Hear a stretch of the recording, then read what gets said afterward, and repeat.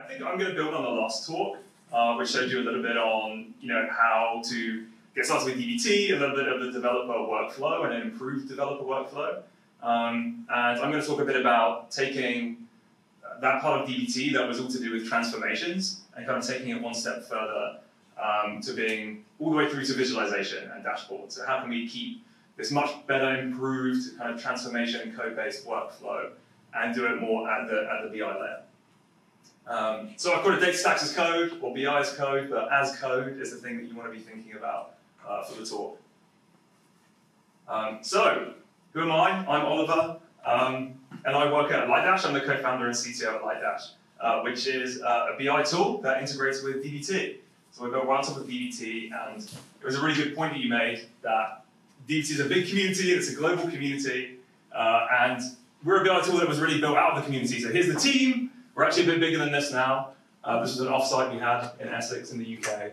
Um, and everyone's working really hard to build a kind of DBT native, developer friendly uh, BI tool. Um, so I'm, I'm, kind of curious, do people work with BI, things like Tableau, Looker, Metabase, Superset? Hands on there if you develop in BI every day. Okay, nice. And I saw there was also uh, DBT users as well, so I think this is going to be really interesting. That's perfect, thank you so much. Sorry for punching over a glass of water. um, so, yeah, I, I, I, kind of wanted to share, I mean, lots has changed since I've been in data. I've worked in data in all sorts of formats, um, from enterprise and kind of aircraft data, academia, in industry, and with kind of clickstream data and ad data. Um, so yeah, as long as it's there as numbers, I'm kind of interested. And not, I mean, a lot of stuff has changed in the ecosystem. Um, there's some things also kind of hasn't changed. And one thing that hasn't really changed too much is the, the developer workflow. And I think DBT was a big leap um, and really opened a lot of our eyes to how there could be a better developer workflow. Um, but I think what I want to share today is that we can, we've got a lot more, there's a lot more improvements on the table. And there's, I think there's a lot of things we can do. And so the subtitle of the talk was how to 10x your productivity. And I really believe that in a year or so, as analysts, we will be 10 times more productive with some of the tools I'm going to share today. And a little of that is Lightdash, our own tool, but um, there's also a ton of other things that I want to show you too. Um, so maybe let's start a little bit to, to how we got here. What's the background? How did we end up with DBT? And I mean, if you needed more proof, the last presentation was a great one of how DBT really helps you become more productive. So getting rid of those stored procedures, treating transformations as code, and all of those good things. Um, so if you've been working this for a few years, you'll probably remember the, the kind of shift that happened to massively parallel processing. So before then, we were kind of like putting pressure on our application databases to run these analytical queries. Um, and AWS came along and, and, launched Redshift, and of course there are proprietary versions of this at Google, what was to be BigQuery later. Um, but what it meant was, instead of having data engineers managing this complex engineering structure, business analysts and data analysts were actually kind of able to manage the pipeline with SQL as transformations, and it got rid of a lot of the sort of procedures and the, and the complex data engineering that happened. And a bunch of these tools, you know, came up. Some paid for, some open source. There's a little mixture here. There are plenty of other options. I'm not uh, backing any of these specific ones. But um, right here in the middle is DBT, right? And this is kind of what the community has, ha, has blossomed around, and the idea that data analysts can actually manage this entire pipeline um, with, a, with, a, with a little bit of software engineering knowledge.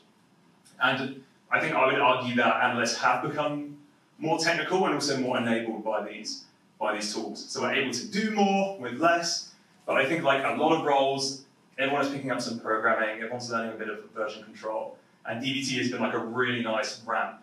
And it's actually created a whole new role, analytics engineering. So it really had a massive impact on the data community. Um, so yeah, I mean, we talked a bit about this. Um, and I wanted to get a bit into like kind of like an analyst engineer. You've probably seen the meme before, um, but the whole idea is that there was this person in the middle who was able to kind of like manage the data engineering stack, but also knew some of the business context and was an analyst, was dangerous with SQL, a bit of Python, um, and a lot of data folks became more engineering kind of overnight. But I think the, the, the thing that I shared at the beginning is I just don't think that we have the tooling to support this workflow properly.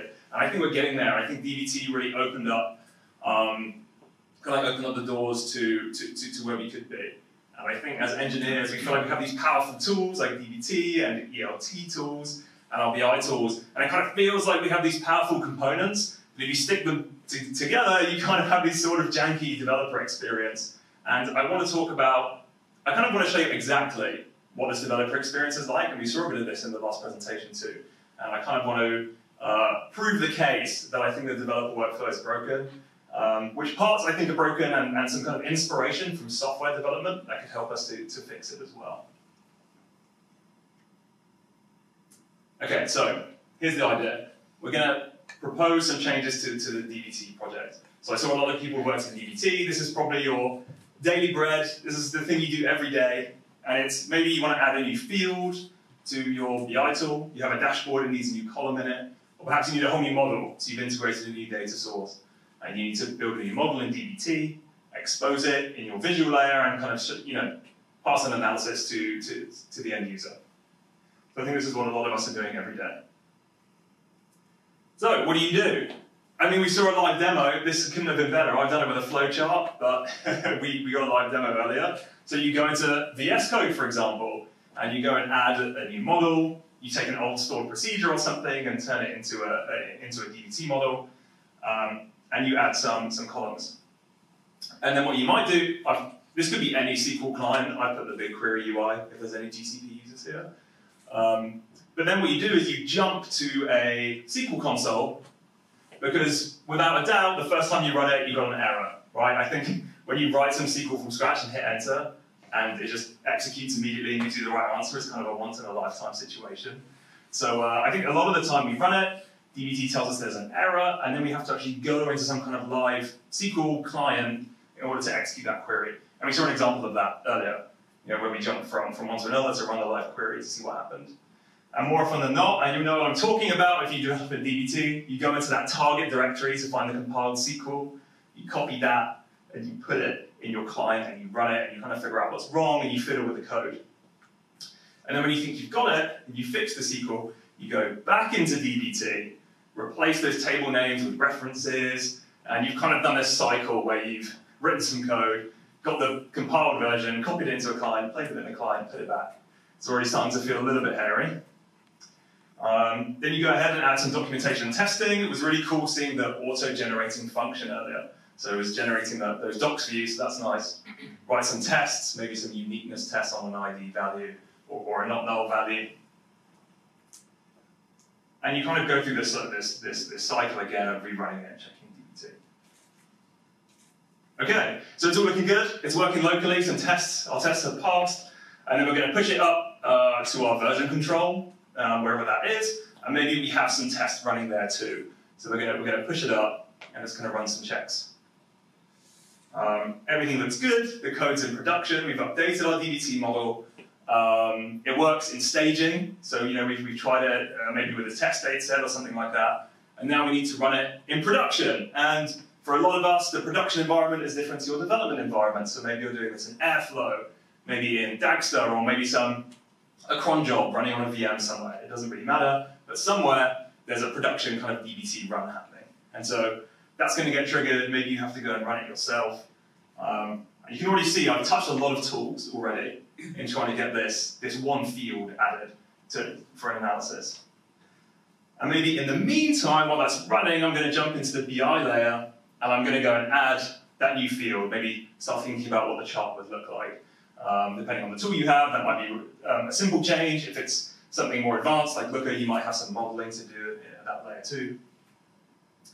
Um, and then you've got the chart, and lo and behold, by the time you get to building the actual thing in the dashboard, you spot an error. You know, okay, there's something wrong with this chart, and there's nothing like a chart to help you eyeball the underlying data, and it's usually quite obvious when something's gone wrong. This looks kind of suspicious here. I suspect this is a real chart. I don't know what the error was in this case. Um, and so what happens? You go all the way back to the model.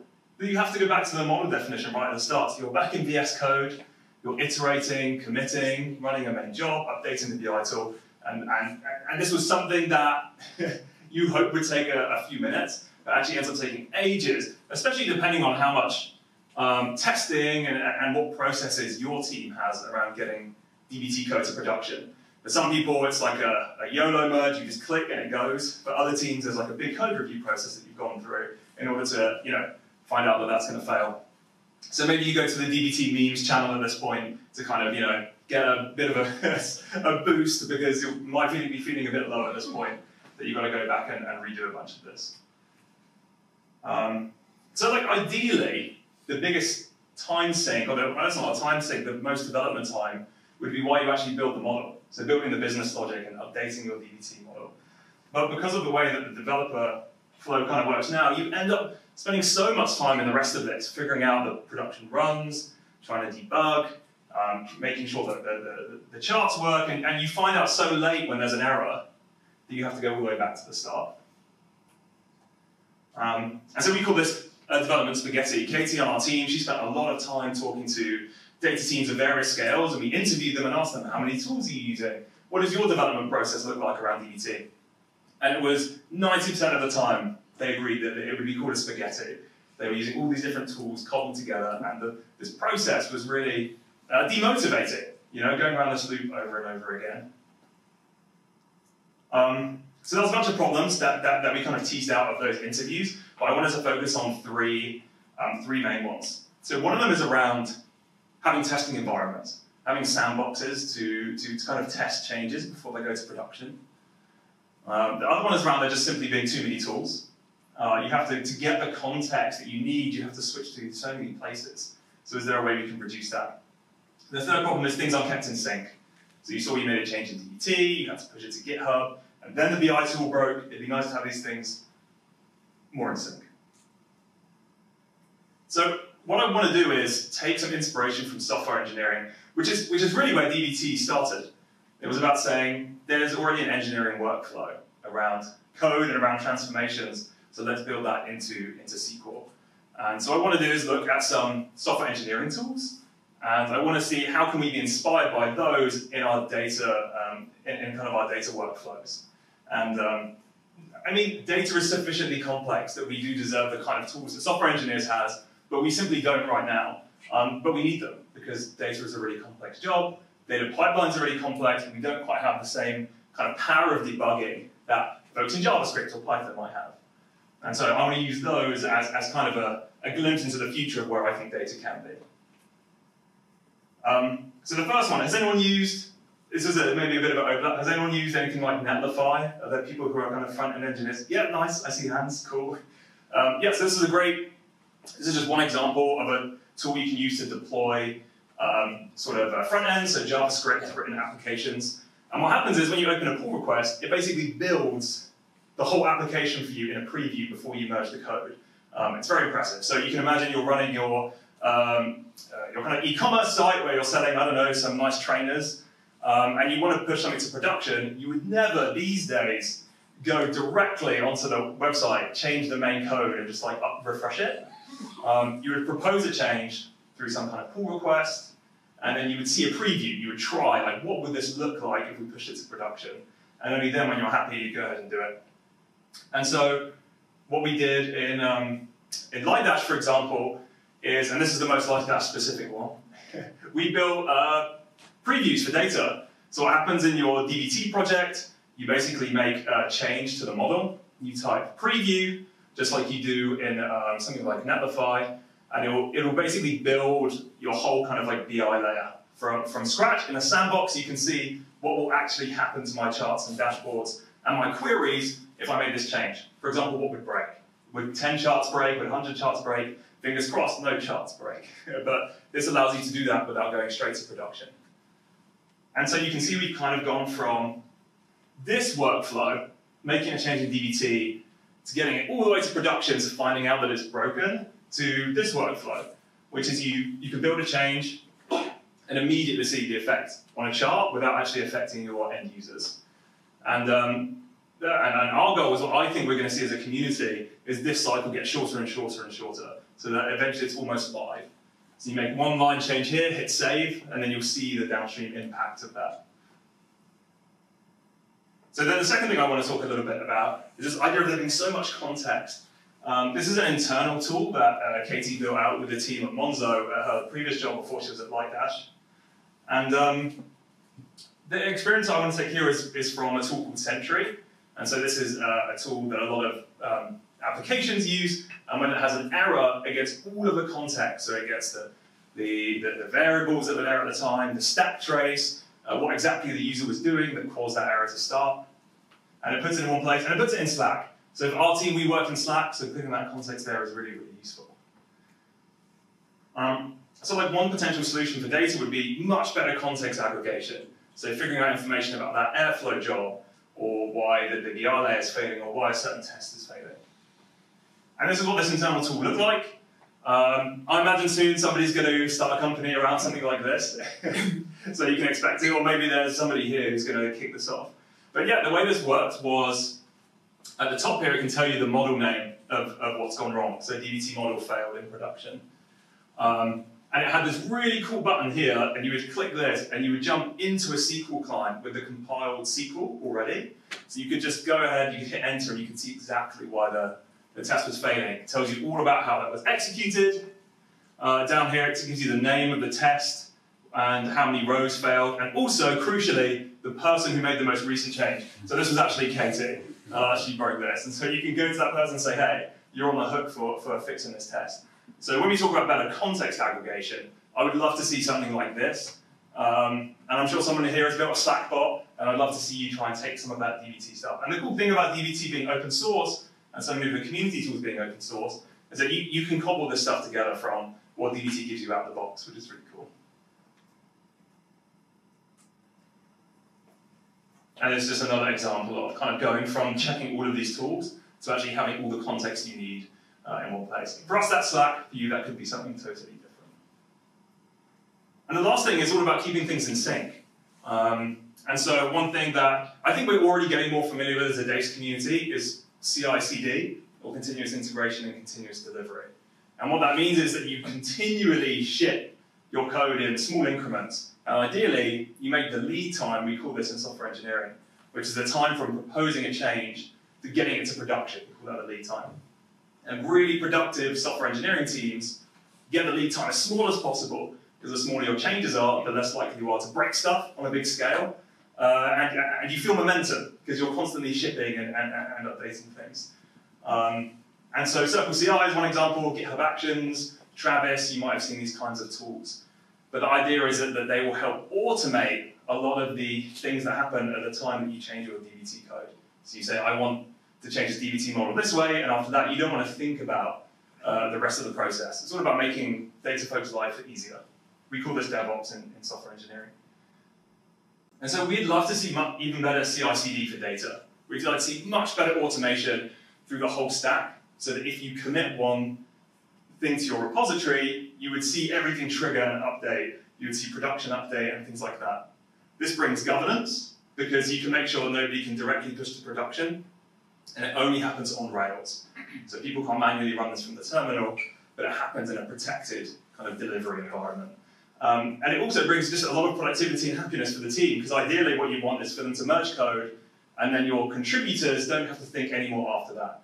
And the whole idea is going back to the original problem. You want to be spending as, like all of your brain power on those DBT transformations and the core business logic, and you don't want to worry about how those transformations eventually go to production, how the prod tables are updated, and how your BI is updated. Ideally, you'd have that all, all kind of happen happen on its own. Um, and so we, have I got a process? No, I haven't got too much of an example. What we do, what we do in uh, Lightdash, for example, we cobbled together a GitHub action for this. And so what happens is when you merge to main, it updates the whole um, BI tool. And it gets rid of this problem of like having to actually, imagine you have a dashboard that maybe 100 people look at every single week. Right now, in most tools, the way that you do that is you directly go into that dashboard and you manipulate the, the, the dashboard live in production, and you hit save. Maybe you broke it for everyone, hopefully you didn't. Um, and so what this allows you to do is to kind of have that to be more on Rails. So you can have an environment where you can do QA, and you can maybe have a debate about whether this change is productive, and then merge, and it will automatically update the BI tool. Um, and one thing I was talking about at the beginning was having data as code. All of these use cases are powered by the fact that DBT gave us kind of like a code-based approach to writing our transformations um, by having the YAML files and the SQL files all together in kind of like an extensible way, so it produces a bunch of these JSON artifacts you can use to build your own use cases. Um, and we'd like to see more of the data stack, so more of the uh, ELT layer and more of the reverse ETL and more of the BI to also be as code, which would unlock these types of workflows. And when we talk about stuff as code, it's easy to say, like, oh, that's generally positive, stuff as code is meant to be good. But I really believe that for data, it unlocks these real use cases like these ones, testing environments, uh, better kind of context aggregation, but also uh, CI/CD too. Um, okay, so what, what can we do about it? That's probably the question thinking, what, what can we do to move from here? I would encourage everyone here to stop thinking about data as kind of a linear process, as like you, you make a change, you go in and, and update another tool and, and, consider, and kind of optimizing tools individually. It's very easy to look at DBT as a great solution for transformation and, and your chosen ETL provider as a solution for ETL. But when you cobble them all together, you end up with a system that's not really efficient. And this will look really different for everyone's organizations. You know, each company has a different development process from, from another one and different business requirements. So I think we should start thinking a bit about, as a system that needs to be optimized, to think more about the developer workflow. And you know, in software engineering, they're a few years ahead of us in terms of this, and they've been thinking a lot about this. And I think there's a lot of analogs and a lot of problems that we have in data that, that were in software engineering a few years ago and have been solved through tooling, DevOps, and better development processes. And so hopefully we end up getting kind of less of this kind of cobbled together machine to actually something that as a whole makes sense. And uh, in this case, it's a cheesy Ferrari before we had this weird truck. I can't even tell if that's real or if it's like a Photoshop job, uh, but it's pretty disgusting. so hopefully we can move more towards this kind of thing. And the way that I propose that we do that is to just kind of think about maybe within your team or within your organiz organization, like if I want to propose a change or if I want to solve something for an end user, how many touch points are there? Like how many tools uh, um, uh, are the team using to make that change? Is it too many? How can we kind of collaborate better um, throughout the system? How can we kind of get context all in one place to figure out why things are going wrong? And um, how can we go much faster? And how can we ship and iterate? So ideally, you want to minimize that lead time.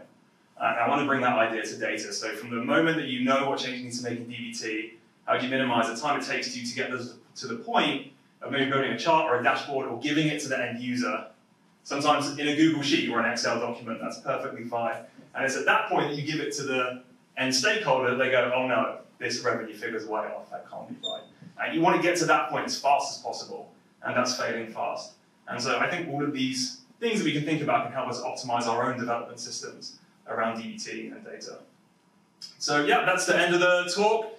You can join the Lightdash community as well as the DBT community. We're very curious about data, about BI, and also development processes. So if this resonates with you, um, I'd love to chat afterwards too. Uh, so yeah, I'm happy to take any any questions.